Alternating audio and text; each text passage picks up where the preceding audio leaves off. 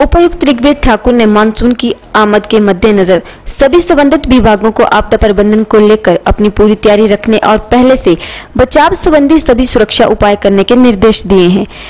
DRDA सभागार में आयोजित जिला आपदा प्रबंधन समिति की बैठक की अध्यक्षता कर रहे थे। उन्होंने कहा कि मानसून की आमद को देखते हुए आपदा प्रबंधन से जुड़े अधिकारी, कर्मचारी मुस्तैद रहें जान माल की सुरक्षा के लिए पहले से तैयारी और प्रबंध करें। बचाव टीम हर समय तैयार रहे। तय करे की आपदा की स्थिति में बचाव कार्य शुरू करने में देरी न हो।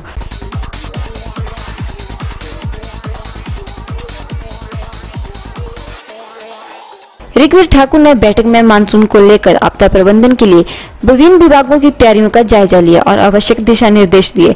आपदा की स्थिति में तुरंत एक ज़ीरो सेवन सेवन पर फ़ोन करें। उपायुक्त ने कहा कि मानसून की गतिविधियों की नियमित जानकारी सहित अन्य किसी आपदा में जान माल की सुरक्षा के उचित प्रबंधन के लिए उपायुक्त कार्यालय में स्थायी नियंत्रण कक्ष बनाया गया है। चौबीसों क्रियाशील रहने वाले इस नियंत्रण कक्ष का टोल फ्री फ़ोन नंबर एक ज़ीरो सेवन सेवन है। उन्होंने लोगों से अपील की कि किसी भी आपात स्थिति में तुरंत एक ज़ीरो सेवन सेवन पर फ़ोन कर सूचित करें।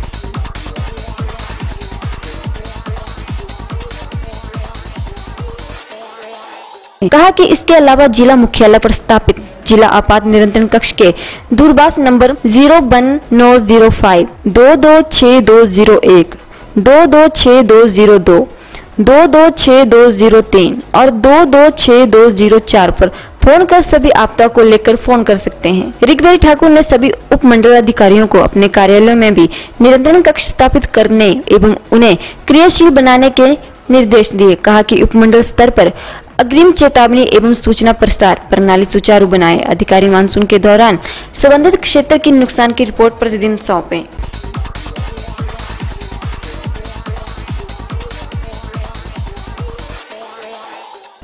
उन्होंने पर्यटकों सहित सभी लोगों को नदियों में उतरने एवं नहाने से रोकने के लिए कदम उठाने को भी कहा। निर्देश दिए कि सभी संबंधित विभाग आपदा प्रबंधन के लिए नोडल एवं संपर्क अधिकारी बनाए। उन्होंने सभी उप मंडलाधिकारियों को आपदा प्रबंधन से जुड़े संसाधनों की विस्तृत सूची रखने और ज़रूरी वस्तुओं एवं राहत बचाव कार्यों में उपयोग आने वाले यंत्र व उपकरणों को लेकर पुलिस, होमगार्ड और बचाव दस्ते को मिलकर पूरी व्यवस्था करने को कहा। उपयुक्त ने कहा कि सभी एसडीएम, नगर निकाय, लोक निर्माण विभाग, सिंचाई एवं जन व्यवस्था विभाग, राष्ट्रीय उच्च मार्ग प्राधिकरण के अधिकारी आपसी समन्वय से काम करते हुए चिन्हित दुर्घटना संबंधित स्थलों पर सुरक्षा को लेकर एहतियाती कदम उठाएँ। बरसात के दौरान सड़कों को सुचारू रखने, भूस्खलन की स्थिति में रास्तों एवं सड़कों से मलबा हटाने की समुचित व्यवस्था सुनिश्चित करें।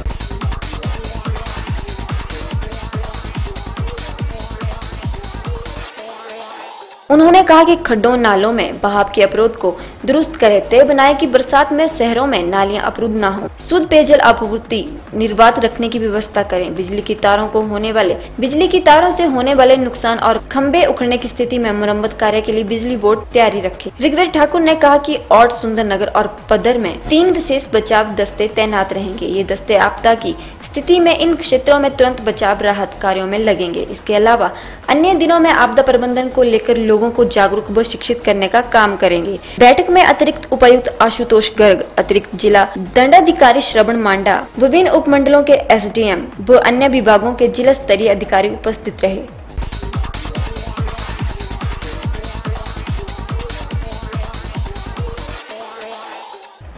घुमार में विधानसभा क्षेत्र में बिजली, पानी व स्वास्थ्य के लिए त्राही त्राही हो रही है तथा जिस उम्मीद से लोगों ने विधायक को बारी बढ़त दिलाकर विधानसभा भेजा था, वो उम्मीदें धाराशाही होती नज़र आ रही हैं। ये कांग्रेस के राष्ट्रीय सचिव व पूर्व विधायक राजेश धर्माणी ने घुमारवी में पत्रकार वार्ता में कही। उन्होंने कहा कि विधानसभा क्षेत्र में बिजली के बार बार कट लग रहे हैं तथा इन कटों का कोई समय नहीं है। ये किसी भी समय लग जाते हैं। उन्होंने कहा की अभी गर्मी की शुरुआत ही हुई है तथा लोग पानी के लिए इधर उधर भटक रहे हैं।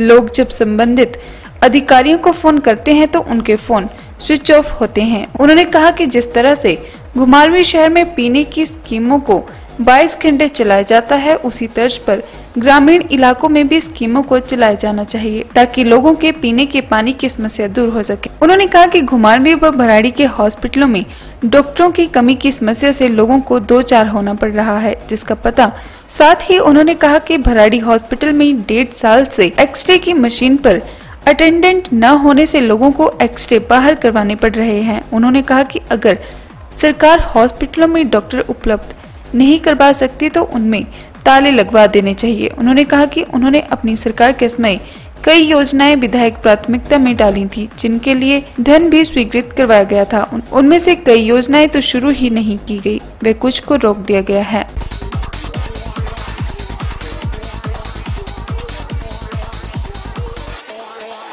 पिछले डेढ़ वर्ष से यहाँ कोई काम नहीं हुआ है। अगर हुआ है तो पिछली सरकार के समय के तीस से ज़्यादा उद्घाटनों व शिलान्यास पट्टिकाओं को तोड़ने का कार्य हुआ है। उन्होंने सरकार व स्थानीय विधायक से आग्रह किया है कि लोगों को इन समस्याओं से जल्दी से जल्दी निजात दिलवाई जाए ताकि लोग राहत की सांस ले सकें।